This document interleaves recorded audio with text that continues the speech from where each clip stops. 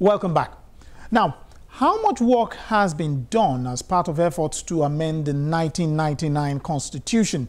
Well, I put that question to the Executive Director, Policy and Legal Advocacy Center, Clement Nwankwo, who has contributed to efforts to amend the Constitution since the Sixth National Assembly.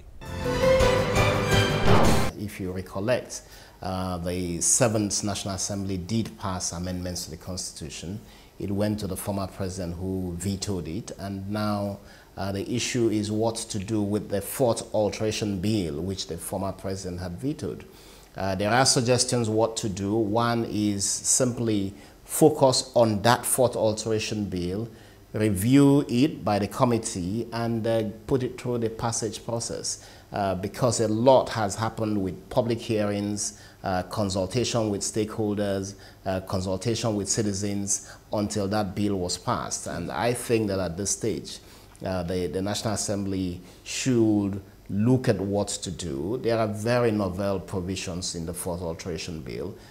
But, but you get the feeling, you, you've also played a role, you've at least taken part in the, uh, I take it, the two retreats. Uh, do you get that feeling that that's how it's going to go with the Eighth Assembly?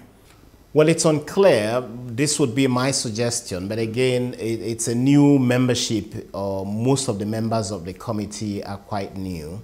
Uh, the good thing is that in the Senate you have the same chairman, uh, Senator Ike Ekweremadu, who is very experienced in uh, constitutional issues and who I'm sure would be able to give leadership to, that would lead to the passage of this. Uh, but again, there are members who are not necessarily uh, members of the committee in the Seventh Assembly, both in the House and in the Senate.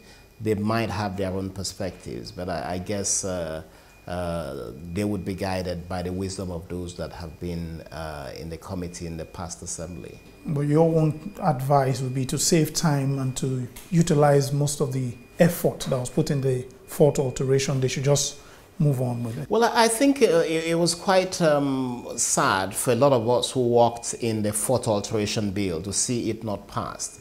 But having gone through a legislative process, my sense is that it would be advisable that the committee uh, in both houses, the committees take this one bill and move forward with it, having gone through legislative process. Of course, there might be some new issues that might have come up, and I think that one of the key issues uh, for business people is the Land Use Act.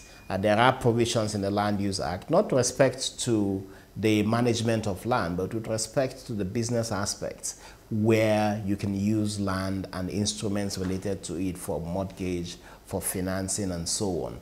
I think that if you add something as urgent as that into the fourth alteration, yes, uh, you should really proceed to achieve a passage.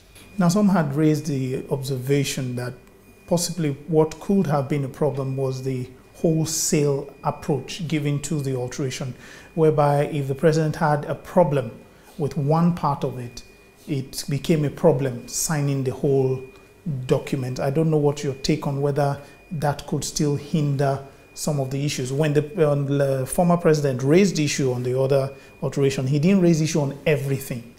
He raised the issue on some parts of it, but that still hindered the whole effort. I don't see that's a problem because the both houses voted clause by clause and they took the votes per clause. So if you had a clause, for instance, that said, and this was in the act, that said that the uh, provision of free maternal uh, health or primary health uh, shall now be a fundamental right for every citizen, uh, members voted for it.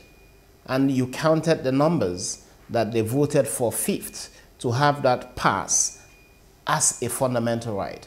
The provisions related to separation of the office of Attorney General from office of Minister of Justice, it was voted on and you got two-thirds of votes supporting each clause that was proposed for amendment. So if the president has uh, an exception to make to any of it, then he would make an exception to it and it would stand on its own as having been voted for separately.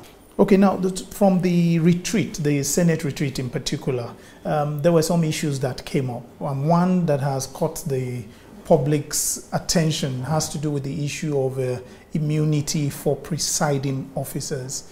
I, I, don't know if you've also been following on that point. Yes, uh, that's a, a, controversy for the National Assembly members. Uh, if you take the view of the ordinary Nigerian and the views of a lot of us in civil society, uh, the view is that even the immunity that exists today should be removed. We, we believe that immunity for the president, immunity for the governors and their deputies should be removed.